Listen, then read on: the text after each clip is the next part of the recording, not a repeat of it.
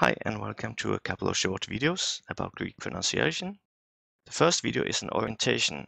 The second one is more technical. So in this first one we will not go through proper pronunciation but more the history, how it developed.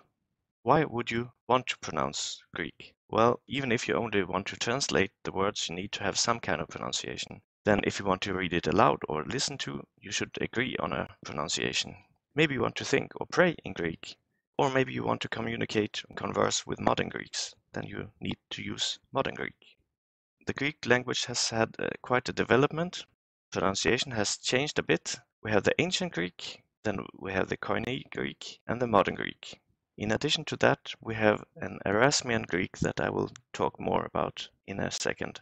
It's a more academic pronunciation that was never actually used by the Greeks, but it's used all over the world today Erasmus raised the question how was Classical Greek properly pronounced? That surprised me a bit that he didn't want to know how Koine Greek was pronounced because he was uh, not only a philosopher but, but he was also a Christian scholar.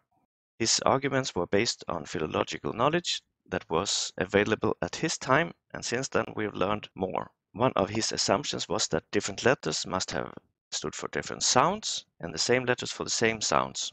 And that sounds logical, but it's uh, it's not true. Just think of, of the letter O in English. In goat, you have the O sound. In thought, you have the O sound. Choice, you have a cho, uh, O sound. Foot, you have a U sound. And in goose, you have a U sound, a different one. So we have four or five different sounds just for one vowel.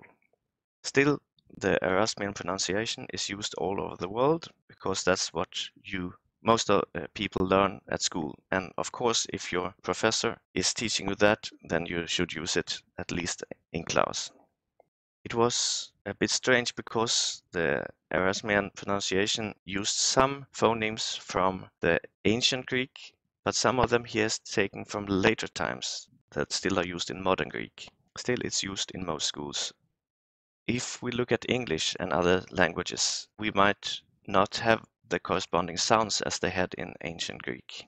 For instance, the pitch, we don't use that much to differentiate words in English, but if you learn Japanese, you have to learn how to handle pitch because one spelling with the same phonemes can mean two or three different things in Japanese, depending on what pitch you are using. Aspiration is another thing that is not very common in English, but it was used in ancient Greek. We see a development in the language from ancient to modern, and in the middle we have Koine Greek. And there's a YouTube that I like a lot that explains some other changes. You can read more at koinegreek.com. They have found lots of spelling mistakes during the centuries and in different places. So we know how the pronunciation actually changed. Epsilon iota, for instance, was no longer pronounced A, but E. So in that way, we see by spelling mistakes uh, when someone read up a document and they, they wrote it down that the pronunciation was the same. And we have lots of examples of, of that. So with some certainty, you can say in what century it changed or when it had changed at least. There are different Greek periods. In ancient Greek, they had different dialects also. You have the old Ionic used by Homer, for instance, the new Ionic used by Hippocrates.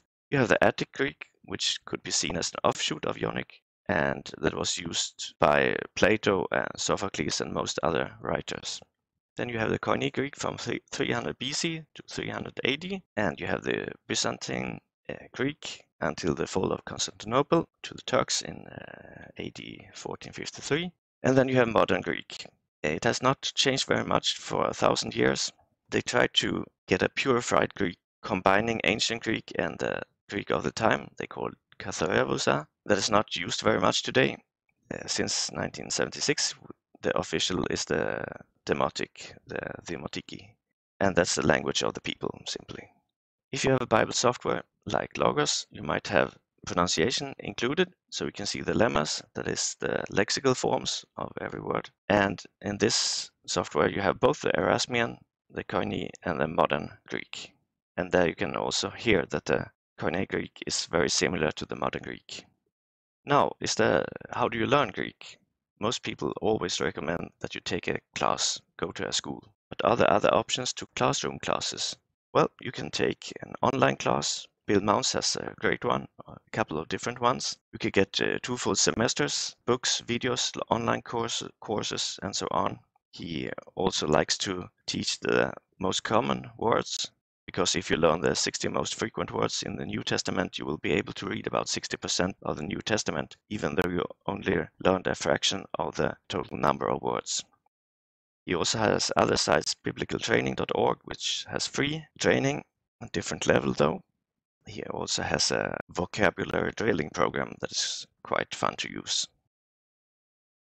If we think about why did the New Testament writers write in Greek? It's because of this guy, Alexander the Great. He was a prince, became king at age 20, uh, Macedon. Ten years later, when he was 30, he had the largest empire of the ancient world from Greece to uh, India.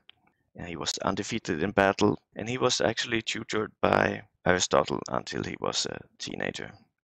If we look at the modern map, we can see it goes all the way from Greece, Turkey, Iraq, Iran, Afghanistan, Pakistan, all the way to India, his great empire.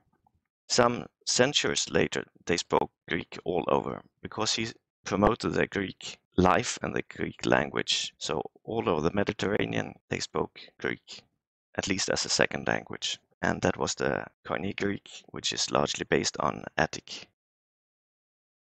Last slide, we're back to the good, the bad, and the ugly. Which one is good, bad, and ugly is up to you. You have the ancient Greek, which we with some certainty know how it was pronounced. The modern Greek, which we know how it's pronounced. Some of the letters are a bit more advanced to pronounce than in the ancient. You have the Koine, where things changed. We're not sure always in what, what century which letter was pronounced in which way. Then you have the Erasmian pronunciation system, which is more or less fixed uh, which is used in schools all, all over. So there are different choices and it's up to you. This is the end of the first part.